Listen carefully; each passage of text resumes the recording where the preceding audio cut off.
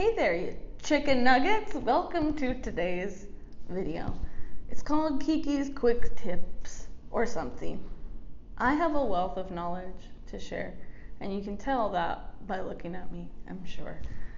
My wealth of knowledge has to do with touching people's faces. When to do it, when not to do it. If you're on the train and you see someone's face, don't touch it. That's not the time.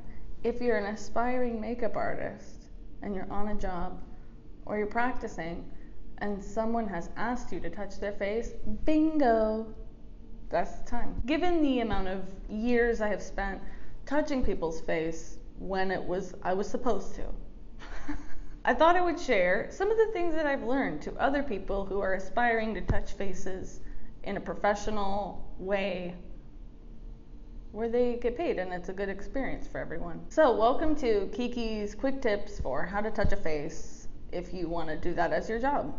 This is going to be a very quick video. I'm going to share literally one thing and my tip for you aspiring makeup artists, aspiring face touchers is people will sit down in your chair. They will put their trust in you while they lie. While they lie to you straight to your face. What I mean by that is people will sit down in your chair and they will say, I would like a natural makeup. And then they will show you a photo of Kim Kardashian. They will say, Oh, I really want a smoky eye when they've never worn eyeshadow before. They will lie to your face and they won't know they're doing it. You need to get more information than just the words coming out of their mouth because most of the time the words will be lies. And I do mean this is specific to when you're doing like event makeup or makeup for people who don't necessarily get the makeup done all the time.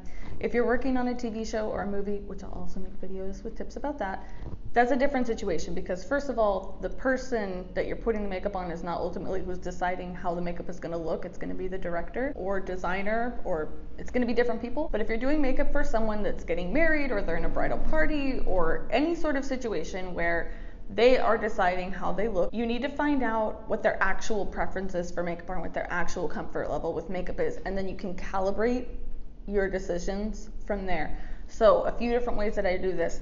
I ask them to come in for like a consultation or trial with their makeup already done. So I can see what they do. If that's not possible, or in addition to that, sometimes I'll just ask them to bring photos of times that they really liked their makeup or photos of how they do their makeup in their daily life. So when they sit down and they say, I want a natural makeup like this, and they show you Kim Kardashian, and then you look at their photos and see that they've only ever worn mascara and tinted moisturizer, you can take that into account. because if you do Kim Kardashian's makeup on them, they will smile and leave and cry and then leave you a bad review. on the other side of that, if they sit down in your chair and they're like, oh yeah, just do whatever. I love makeup. Like it's fine. Whatever you want to do is great. Some people really like to appear chill. Be wary of that. And then you do a natural makeup, maybe one that the person with tinted moisturizer and mascara would have really loved.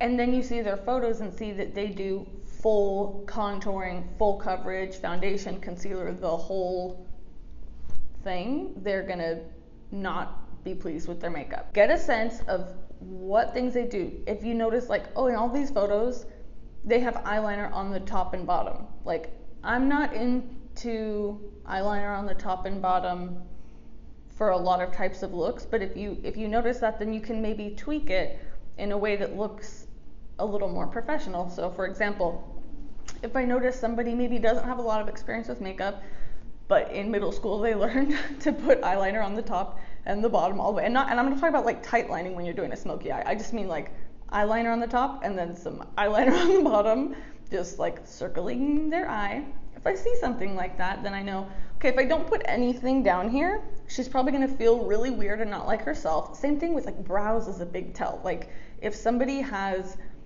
their brows always done or their brows never done, oh, brows affect the face so much that people that are not used to getting their makeup done get really thrown off. Like if they always do their brows and then you don't do very much, they will freak out. And if you like really fill them in a lot, if they've never done that before, they're like, oh, okay, thank you. Ah. Anyway, if I if I see that type of eyeliner situation, I might go, okay, if I leave this bald, then they're gonna feel really weird. So I might do a little more of a deep shadow underneath there, just so it's like softened and then it can fit into like an overall eyeshadow structure I'm doing without just being an outline and they don't feel like part of their eye is missing. The moral of the story is don't listen to people, don't trust anyone. and get information from multiple multiple sources besides their mouth and you will thank me when you get good reviews instead of people being like just and and so often people will leave and be like great thanks and not say anything to you because they're scared. Get some photos of when they like their makeup of how they do their makeup in everyday life. Ask some questions you know? Ask them what do you like to wear? And more often than not they'll be like oh i don't know i just do like whatever and you're like, great, thank you, that's very helpful. That's why photos are nice.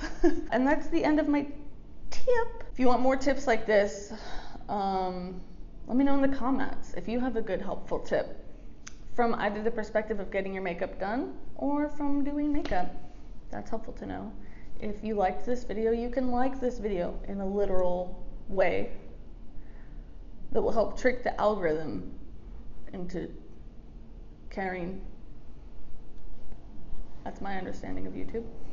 And you can subscribe to this channel. And you can also follow me on TikTok, where I'm posting things on the regular.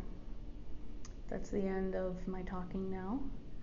I will see you another time. Goodbye.